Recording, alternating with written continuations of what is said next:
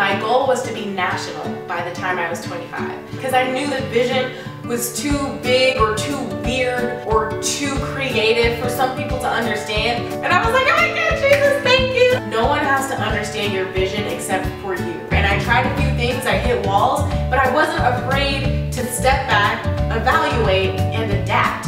I was lugging my little carry-on through New York, my back was hurting, people were just stepping on my shoes, and it was just a hot mess. When can you start?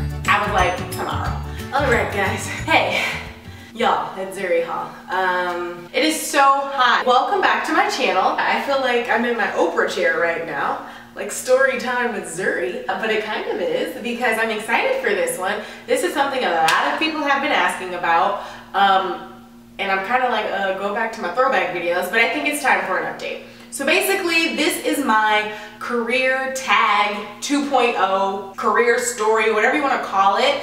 Um, this is just sort of where I am right now and how I got here. Um, just so that you guys know, I did do a career tag um, quite a, like a few years ago. I was still in Dallas, Texas in local news the last time that I did like my career story.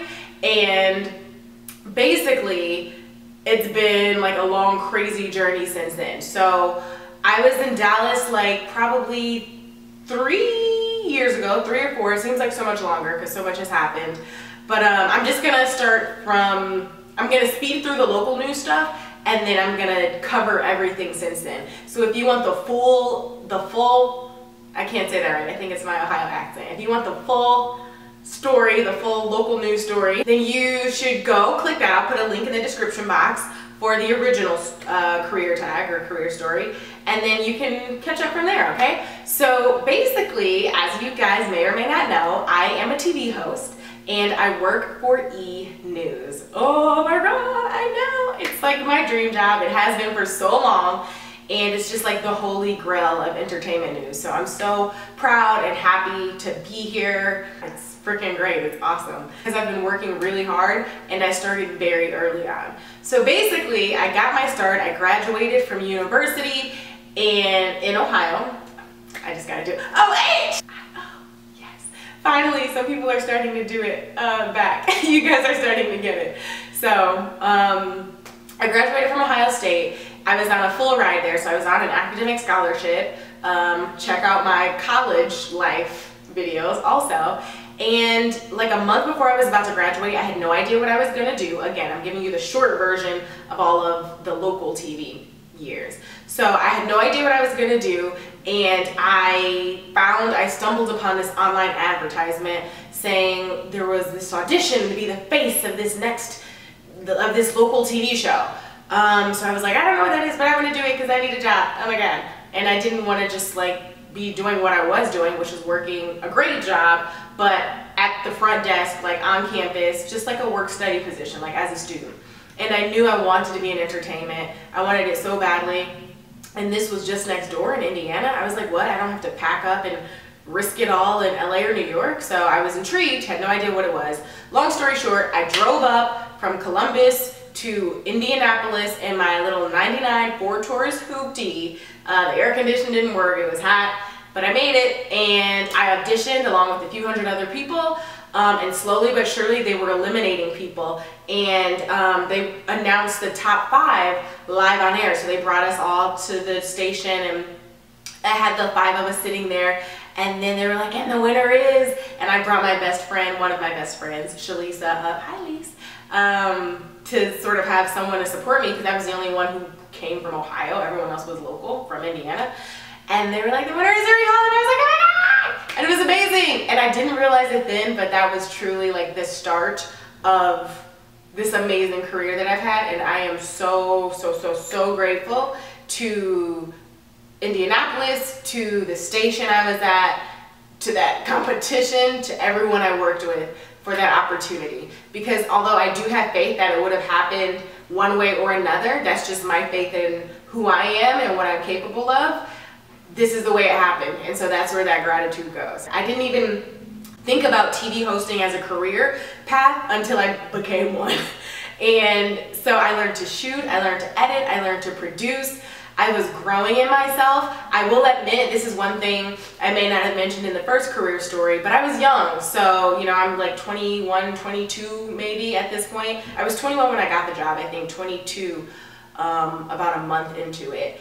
And so I feel like I was used to campus life, coming and going when I wanted, and things would get done, but when I wanted. I wasn't used to working on deadlines. Sure, I had homework and exams and stuff like that, but it's different when um, it's not just you on the line. You're a part of a greater effort, a greater team.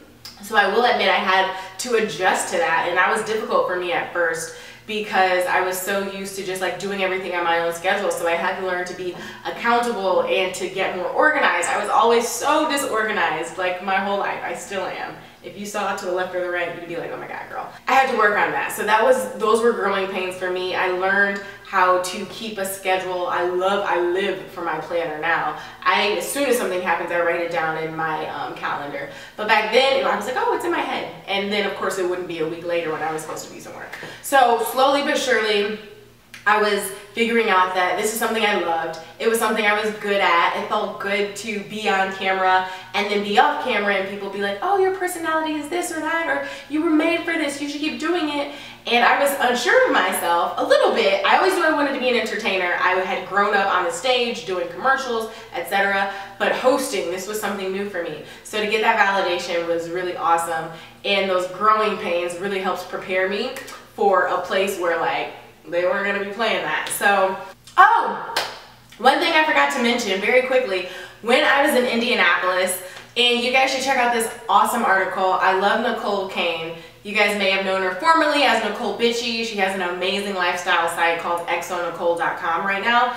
And they did a profile piece on me and my story and sort of like the idea of like betting on yourself. When I was in Indianapolis, I wanted to win an Emmy. I wanted to, it was a regional Emmy and the category was Outstanding Talent Host and I just felt like I could do it. And so I ended up putting up my own money to be considered for the nomination. And this is back when I was like broke, right? So I was pinching pennies. I didn't have a lot of money. My hours weren't full time. So it was like a, I was probably working around 20 to 25 hours a week and then emceeing.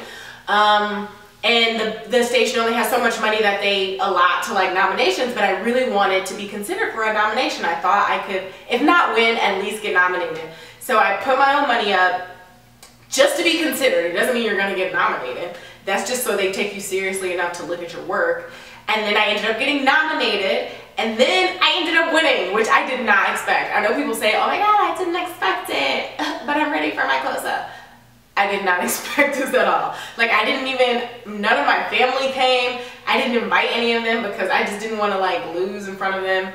And then I freaking won and it was awesome. And that's when I knew, that's what validated like I should be doing this. You know, I was up against some amazing people, some who had been in the business and respected so, such good talents for years in that market which is why I was like, no, this is my first year in hosting and TV. I'm learning as I go it hasn't even, it may have just been a year at that point, but I did it and then I won. And that's when I was like, you know what, this, I, this is for me. Like, I think this is a really good sign that um, I could be good at this, that I could be really good at this.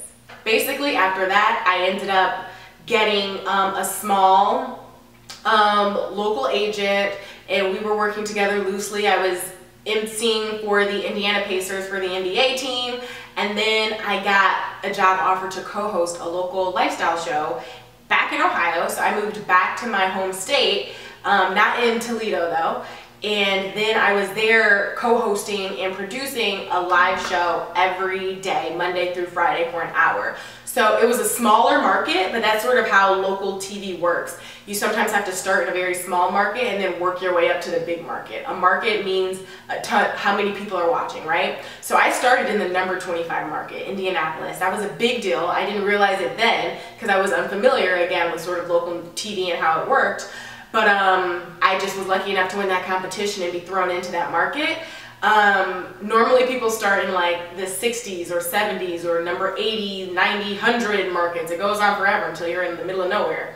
Um, And then I went down in market so that I could get this opportunity to host a live show every day. That was a big deal. The stuff I was doing in Indy wasn't live. So I went down to market number 62, I think, to have that opportunity and prove that I could host a live show.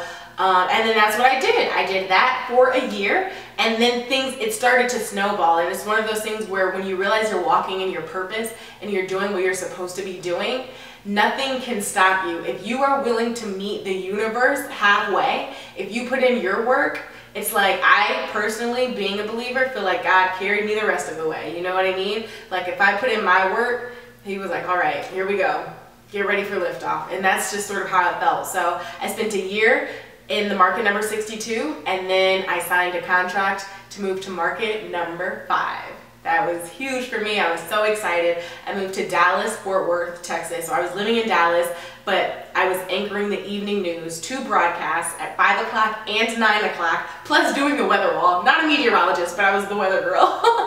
and I was doing that every single day. So I was creating the weather maps, creating the forecasts based on data that I was pulling from obviously actual meteorologists and all of this stuff. And then I was also anchoring the 5 o'clock news and the 9 o'clock every single day and it was awesome. It was harder, it was hard news, period. So it was heavy, death, destruction, crime, etc. Um, world news, just whatever was going on. It was your typical newscast but for a younger audience and that's why it was exciting to me. I was finally for the first time meeting people who were my age, who were creative, who were hardworking because that's what got them to this number five market, but um, who also love to act and to sing and to experiment creatively. So it was really cool. I met some really awesome creative people, some of whom I am still friends with today, and it was great. But just when I was like, I could settle into Dallas for a little while, fate came a knocking again.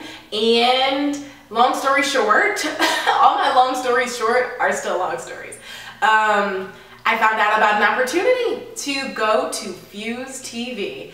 My goal was to be national by the time I was 25.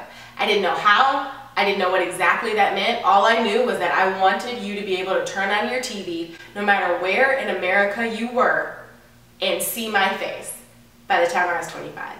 So that was always my goal from the time I got into it back in Indianapolis. And I didn't know how it was going to happen, but I, anytime anyone asked, I unapologetically put it out there. That was the goal. That was the goal. Um, and then it, the moment came where it could happen. I was 24, I think. Oop, camera cut off. So anyways, fast forwarding back to Fuse, um, I got wind that Fuse TV was hiring I wanted to be national by 25. I was in Dallas and I loved it. I wasn't just comfortable, I was happy. There, you know, there's always things you could do differently. I wish I could be a little more creative. They let us experiment a lot, which was great, and be creative, but I wanted, you know, just to be in a city, period, or a space um, that just was thriving with more creatives. And I knew at the end of the day I was gonna have to end up in LA or New York. So I found out about Fuse, and long story short, we submitted like my resume and my headshot or whatever, right? And then didn't hear anything back. Oh, they were like, oh, she's great, we love her. But then we never heard anything. And I was like, I want this, I really want this. I let a few weeks go by and I just wouldn't let it go. And I went online and I started Googling and searching and LinkedIning and whatever else. And I stumbled across this girl's contact info. Didn't know who she was from Adam, but she worked for Fuse and so I met randomly, like, you know how you cold call? I cold emailed and was like, hey, well, not this, this. Hey, you don't know me, but this is my real, this is what I do, this is what I want. I sent it off. Ooh, and I tell you, God bless her. She forwarded, along, forwarded it along to her boss, who ended up being my future boss. He saw me, he liked my reel. They flew me out to New York City for 24 hours, I came, I auditioned, I was lugging my little carry-on through New York, my back was hurting, people were just stepping on my shoes, and it was just a hot mess. But I was used to the grind at that point. I'd been doing it since high school, living in New York, sleeping on floors, grinding in Atlanta, sleeping on couches. So I've been doing that for years. I didn't, I didn't mind it, and I've always been willing to risk.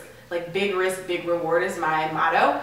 Um, so I went there, I auditioned, and there was like other girls in there and they were like cocky and they were confident and I would like try to smile or be nice because I was nervous and they would just like look at you and like go back into the group and I was like oh my god these girls are so confident. Like, there's no way I'm gonna get this job because this chick and this chick and this chick, they're all sitting here like they know they've got it.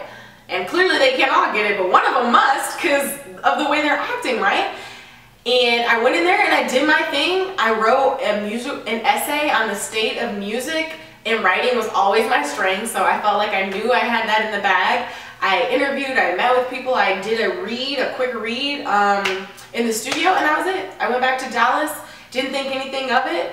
Long story short, they were like, we like you, we want to try you on air for a week. They flew me back out, I co-hosted for a week as a guest host, and then they offered me the contract. And I was like, oh my God, Jesus, thank you, and boom, I was national by 25 and it just felt so good. Not like in a sense of like proving anyone wrong. So many people just supported me. It wasn't like I had like haters or anything like that sense. Um, at least not ones who were bold enough to tell me to my face. But just like I did it my, for myself. And so I picked up and moved from Dallas, a place I loved, to New York for a bigger opportunity. And it was a bigger risk, but that's like the prime example to me of never getting too comfortable, right? Like it's so easy to get complacent. I like this space I'm in. But are you growing if you're comfortable? You know, it's like with track and field, which I hate, I just hate working out and all that stuff. But like sports, if you are doing a workout and it's no longer hard for you, it's like breathing or like moving and it's just whatever, are you growing? Are those muscles gonna build? And that's how I look at my career. And it was like I loved Dallas. And I could have been there forever easily. I could have gotten married there, had the kids there, settled down. I really liked it. But I was comfortable. And I knew how much more I wanted for myself. And I knew if I got too comfortable, I'd convince myself that that's all I'd ever wanted when I knew I wanted so much more. So even though I loved it, I packed up. It was a hard choice. And I moved to New York and I worked at Fuse TV for just under a year and then I signed with an amazing agent who I still work with today. I love her, she's awesome. And then she got me sort of talking to MTV. Long story short, I met with the execs at MTV and they, and then I didn't hear anything and I was like, okay, that's cool. It was just like a meet and greet. And then randomly like three weeks later, it was just a call, they want to sign you. And I was like, what? Oh my God, like out of nowhere. It went from just like, oh, that was a great meeting, they really liked you, to silence, to when can you start? I was like, tomorrow. so no, it took a little bit more time than that. But then I ended up moving over to MTV and I was there for a year. It was an awesome experience. I made some really great work friends. That's when I started working on um, the challenge after shows, hosting those after shows, which um, a lot of you guys have tweeted me during and like commented under my videos that you've seen me hosting. So that was a really awesome time. I loved, loved, loved uh, the Challenge family. They're so much fun. And then I also did work on MTV too. I would do stuff on VH1. I would um, guest host with Nick Lachey when he was hosting Big Morning Buzz. And then I would also do a show, Charlamagne's show, Charlamagne the God. You guys oh, may have heard me on his podcast a time or two. Whew. My mom listens to those podcasts. No bueno. Um, but I would go on his podcast, but I met him through working with him on his new show, Uncommon Sense. Um, during my time, by the way, at Fuse, I got the opportunity to guest host Fashion Police on E with, wait for it, the legendary Joan Rivers. What? What? The legendary Joan Rivers. Oh my god, it didn't even hit me until after I got back to New York what had just happened to me. But long story short, Um, I flew out, they flew me out to LA and I guest hosted, that was it. You know, Giuliana was out for the day or doing whatever and so they just sometimes have someone fill the chair. They have like celebrities come in, they have random guests and so that week I got to fill in and it was so awesome working with Joan. She was amazing, so sweet to me. I didn't have a glam squad. They assumed that I did, but I was like, I don't have a glam squad. Mm. But it was the morning I showed up like, where do I go? Joan was like, where's your glam squad? I was like, I don't have one. So she sent her team out of her dressing room. She was like, I'll be fine. Go get this girl's life together. And sent her makeup and, ooh, cut off again.